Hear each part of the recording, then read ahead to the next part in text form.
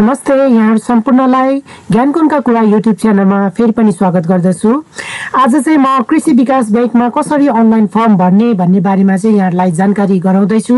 यो जानकारी गराउनुभन्दा अगाडि यदि तपाईँहरू चाहिँ यस च्यानलमा नयाँ हुनुहुन्छ भने यस च्यानललाई लाइक सेयर अनि सब्सक्राइब गर्न नबिर्सनु होला भन्दै आउनुहोस्। अब हामी अगाडि बढ्नेछौँ। आज मेरो सो रुगा लागेको हुनाले अलिकति फल्टी सुनिरहेको छ। हुन्छ हामी सुरु गर्नेछौँ। सर्वप्रथम तपाईँ चाहिँ आफ्नो ब्राउजरमा गएर आरइसिआरयुआइटिएमइएनटी recruitment dot ADBL dot जिओभी dot NP गएर लिङ्क टाइप गर्नुहोला र त्यसमा चाहिँ इन्टर गर्नुहोला र लिङ्क चाहिँ तपाईँले डिस्क्रिप्सनमा पनि पाउन सक्नुहुन्छ र स्क्रिनमा पनि देख्न सक्नुहुनेछ। यसरी लिङ्क इन्टर गरिसक्नु भएपछि चाहिँ तपाईँलाई होम पेजमा लिएर जान्छ र तपाईँले चाहिँ यहाँ देख्न सक्नुहुन्छ विभिन्न पदहरूको लागि चाहिँ खुला गरिएको छ। र म चाहिँ अहिले उदाहरणको लागि तपाईँलाई कम्प्युटर अफिसरमा चाहिँ अप्लाई गरेर देखाउँदैछु कसरी अप्लाई गर्ने भनेर। यो अप्लाई बटनमा क्लिक गर्नुहोला। यहाँहरूले चाहिँ जुनसुकै पदमा पनि अप्लाई गर्न सक्नुहुन्छ इन्जिनियर आइटी क्लर्क तपाईँको जे जे क्वालिफिकेसन छ त्यही अनुसारले गर्नुहोला। म अहिले चाहिँ यहाँ टाइटल छान्नु होला र फर्स्ट नेम रबिन त्यसपछि अहिले म यो हान्दैछु। जिवाई ज्ञान गुणका कुरा। अनि मोबाइल एनटिसी यो पछि हान्नेछु। पासपोर्ट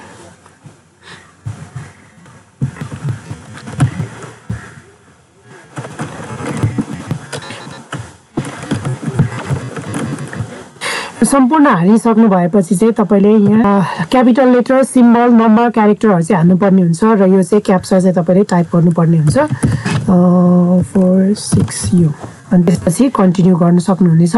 र यो कन्टिन्यू बटनमा चाहिँ क्लिक गर्नुहोला। त्यो बटनमा गरिसक्नु भएपछि चाहिँ तपाईँहरूलाई यो पेजमा चाहिँ लिएर आउँदछ र तपाईँले जुन मोबाइल नम्बर राख्नुभएको छ त्यो मोबाइल नम्बरमा पनि लगइन आइडी चाहिँ तपाईँलाई सेन्ड गर्छ र स्क्रिनमा पनि तपाईँलाई देखाउँछ जुन मैले चाहिँ अहिले हाइड गरेको छु। र त्यो गरिसकेपछि चाहिँ तपाईँले आफ्नो नाम यहाँ देवनागरीमा टाइप गर्नुपर्ने हुनेछ।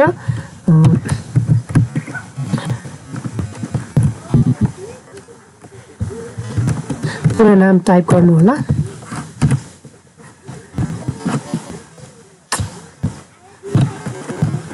रबिन राई हाल्दैछु मैले। यहाँ लिङ्ग सेलेक्ट गर्नु होला। मेल फिमेल के हुन्छ? हुलिया यो भए पनि हुन्छ। यो कम्पलसरी छैन। अपाङ्ग हुनुहुन्छ भने अपाङ्गमा। यदि कर्मचारी कृषि विकास बैङ्कमै काम कार्यरत कर्मचारी हुनुहुन्छ भने कर्मचारी नम्बर हाल्नु होला। म अहिले त्यहाँ कार्यरत छैन र तपाईँको चाहिँ जन्ममिति यहाँ हाल्नु होला। र यो एडीमा चाहनुहुन्छ भने एडीमा यहाँ हाल्न सक्नुहुन्छ। विक्रम सम्मतमा हो भने विक्रम सम्मतमा हाल्न सक्नुहुनेछ। त्यस्तै तपाईँ खुल्लामा हो भने खुल्ला प्रतियोगिता समावेशीमा हो भने महिला आदिवासी के हो त्यसमा चाहिँ तपाईँले सिलेक्ट गर्नुपर्ने हुन्छ। र जस्तै तपाईँको चाहिँ खुल्लाको दरखास्त शुल्क भनेको चाहिँ हजार रहेको छ र समावेशी थपमा चाहिँ पाँच सय एड हुन्छ यसमा चाहिँ।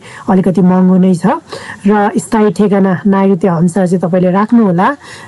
यसमा प्रदेश तपाईँले छान्न सक्नुहुन्छ जस्तै प्रदेश एक प्रदेश दुई बागमती प्रदेश गण्डकी प्रदेश लुम्बिनी प्रदेश कुन हो तपाईँले छान्न सक्नुहुन्छ जिल्ला छान्न सक्नुहुन्छ। अहिले चाहिँ मैले उदाहरणको लागि सरलाई हान्दैछु। गाउँपालिका त्यस्तै हान्न सक्नुहुन्छ वडा नम्बर यहाँबाट सिलेक्ट गर्न सक्नुहुन्छ। अथवा तपाईँले डाइरेक्ट टाइप पनि गर्न सक्नुहुन्छ। त्यो टोल फोन नम्बर सबैले हाल्न सक्नुहुन्छ र हालको स्थायी ठेगाना चाहिँ हाल्नु होला माथि चाहिँ नागरिकता अनुसार हाल्नु होला तल चाहिँ हालको ठेगाना हाल्नु होला जस्तै बागमती प्रदेश हाल्न सक्नुहुनेछ। र ललितपुर मैले हान्दैछु। र नगरपालिका यहाँबाट सिलेक्ट गर्न सक्नुहुनेछ। त्यस्तै वडा नम्बर हाल्नुहोला अनि मोबाइल नम्बर इमेल अलरेडी हुनेछ। र नागरिकता नम्बर यहाँ तपाईँले हाल्नुपर्ने हुन्छ र जारी मिति कहिले हो त्यो हाल्न सक्नुहुन्छ। नागरिकता लिएको जिल्ला यहाँबाट तपाईँले ड्रपडाउनबाट सिलेक्ट गर्न सक्नुहुन्छ। त्यस्तै बाजेको नाम यहाँ नेपालीमा हाल्नुपर्ने हुन्छ। र तपाईँको बाबुको नाम हो त फादर्स नेम आमाको नाम यहाँ हाल्न सक्नुहुन्छ तिन नम्बरमा। यदि तपाईँ चाहिँ विवाहित हो भने चाहिँ पति पत्नीको नाम हाल्न सक्नुहुन्छ र उहाँको यहाँ नागरिकता चाहिँ नम्बर हाल्न सक्नुहुनेछ। माथिको सेक्सन सम्पूर्ण भरिसकेपछि चाहिँ तपाईँले शैक्षिक विवरण भर्न सक्नुहुनेछ जस्तै तपाईँ क्लर्कको लागि हो भने चाहिँ प्लस टू चाहिने हुन्छ र अहिले चाहिँ मैले कम्प्युटर अफिसरको लागि देखाउँदैछु त्यसैले स्नातक मिनिमम हुनुपर्ने हुनेछ। र यहाँ चाहिँ तपाईँले आफ्नो शैक्षिक संस्थाको नाम अनि त्यसपछि स्तर जस्तै एसएलसी हो भने एसएलसी एसई हो भने एसएससी प्लस टू हो भने प्लस टी अनि उत्तीर्ण गरेको साल तपाईँले यहाँ चाहिँ टाइप गर्नुपर्ने हुन्छ। यहाँ देख्न सक्नुहुन्छ श्रेणी भनेको तपाईँको चाहिँ कुन श्रेणी रहेको छ? डिस्टिङसन हो कि फर्स्ट डिभिजन हो कि थर्ड डिभिजन या ड्रप डाउनबाट सिलेक्ट गर्न सक्नुहुन्छ। बोर्ड चाहिँ तपाईँले नेपाल बोर्ड हो कि बाहिर बोर्ड हो कि टियु हो कि के हो तपाईँले टाइप गर्न सक्नुहुनेछ। त्यस्तै यहाँ तपाईँको पर्सेन्टेज अथवा जिपिए अथवा टोटल मार्क्स चाहिँ यहाँ राख्न सक्नुहुनेछ र मुख्य विषय के के हो तपाईँले यहाँ गर्न सक्नुहुन्छ। त्यस्तै तपाईँले अन्य विवरण भर्नु पऱ्यो दुईवटा भन्दा बढी भर्नु मन छ भने एड न्यू लाइनमा गएर तपाईँले गर्न सक्नुहुनेछ। र त्यो गरिसकेपछि अनुभव विवरण छ यो चाहिँ अङ्ग्रेजीमा भन्नुहोस् भनेर भनेको छ।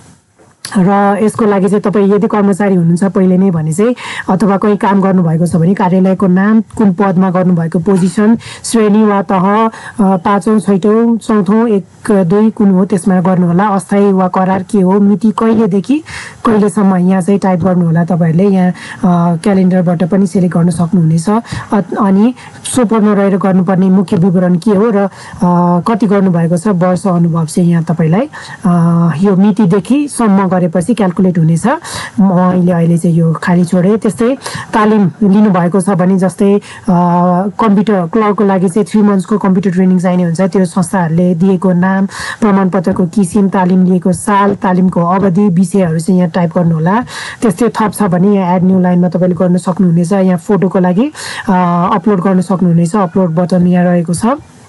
त्यस्तै तपाईँको सिग्नेचर यो चाहिँ वान भन्दा कम हुनुपर्ने हुन्छ र दुइटै फोटो र सिग्नेचर चाहिँ वान भन्दा कम चाहिँ तपाईँले अपलोड गर्नुपर्ने हुन्छ। र त्यो गरिसकेपछि चाहिँ नागरिकताको प्रमाणपत्र यहाँ बढीमा वान एमबीको फाइल त्योभन्दा सानो फाइल कम फाइल नै अपलोड गर्नुहोला। यहाँ तपाईँले अपलोड गर्न ठाउँ दिएको छ। त्यो गरिसकेपछि चाहिँ नेम अफ डकुमेन्ट छ देख्न सक्नुहुनेछ। त्यस्तै समकक्षिता शैक्षिक प्रमाणपत्र के भन्छ भन्दाखेरि तपाईँ चाहिँ नेपाल बोर्डभन्दा बाहिर हुनुहुन्छ भने इक्विभ्यालेन्स गर्नुपर्ने हुन्छ र त्यसको लागि चाहिँ यहाँ तपाईँले अपलोड गर्न सक्नुहुन्छ। त्यो सम्पूर्ण यदि तपाईँले चाहिँ नेपालभित्रैबाट चाहिँ प्लस टू अथवा ब्याचलर पास गर्नुभएको छ भने त्यसको चाहिँ ट्रान्सक्रिप्ट अनि त्यसपछि क्यारेक्टर सर्टिफिकेटहरू चाहिँ यहाँ शैक्षिक प्रमाणपत्रहरूमा अपलोड गर्नुपर्ने हुनेछ र त्यसलाई अपलोड गरिसकेपछि सेभ एन्ड सब्मिट बटनमा क्लिक गर्नुहोला। सम्पूर्ण डकुमेन्ट्सहरू फिलअप गरेर सेभ गरि सब्मिट गरिसक्नु भएपछि चाहिँ तपाईँको यो स्क्रिनमा यसरी आउनेछ र तपाईँले चाहिँ यहाँ गएर क्लिकमा चाहिँ पेमेन्टको लागि चाहिँ आवेदन बुझाइसक्नु भएपछि यहाँ क्लिकमा गएर तपाईँले क्लिक बटनले क्लिक गर्नुहोला। अब तपाईँले यहाँ देख्न सक्नुहुन्छ यहाँ गइसकेपछि तपाईँलाई विभिन्न माध्यमबाट चाहिँ पे गर्न सक्नुहुन्छ जस्तै फोन पेबाट ई सेवाबाट कनेक्ट आइपिएसबाट। केबाट चाहिँ तपाईँलाई सर्वसुलभ हुन्छ त्यहाँ गएर चाहिँ तपाईँले क्लिक गर्नुहोला। मैले अहिले इक्जाम्पलको लागि चाहिँ ई सेवामा क्लिक गर्दैछु। र यसरी चाहिँ गएर तपाईँको ई सेवाको पेजमा आउँछ र तपाईँले आफ्नो चाहिँ इमेल आइडी अथवा ई सेवाको लगइन गरेर लगइन गर्नुहोला र पे गर्न सक्नुहुन्छ। एकदमै इजी छ। फोन पेबाट ई सेवाबाट कनेक्ट आइपिएसबाट अनलाइनबाट चाहिँ पे गर्नलाई एकदमै सजिलो छ। यो सम्पूर्ण गरिसकेपछि तपाईँको भेरिफाई चाहिँ भएको छ कि छैन भनेर पछि तपाईँले यहीँ हेर्न सक्नुहुन्छ जुन एडमिट कार्डमा छ अहिले चाहिँ। तपाईँ देख्न सक्नुहुन्छ फर्म अनभेरिफाइड छ पेमेन्ट अनभेरिफाइड छ पछि तपाईँले पे गरिसक्नु भएपछि यदि तपाईँको फर्म अथवा डकुमेन्ट्स पुरा छ भने चाहिँ यहाँ भेरिफाई हुन्छ र पेमेन्ट चाहिँ भेरिफिकेसन हुन्छ। र पछि तपाईँलाई चाहिँ कृषि विकास ब्याङ्कले इक्जाम रोल नम्बर र सम्पूर्ण कुराहरू चाहिँ यहीँबाट उपलब्ध गराउँदछ भन्दै यदि तपाईँहरूलाई चाहिँ यो भिडियो मन पर्यो र आगामी दिनमा चाहिँ यस्तै भिडियो हेर्न चाहनुहुन्छ भने यस क्यानगुनका कुरा युट्युब च्यानललाई लाइक सेयर अनि सब्सक्राइब गर्न नबिर्सनुहोला भन्दै आज यहाँबाट बिदा हुन्छु। हस्त नमस्ते।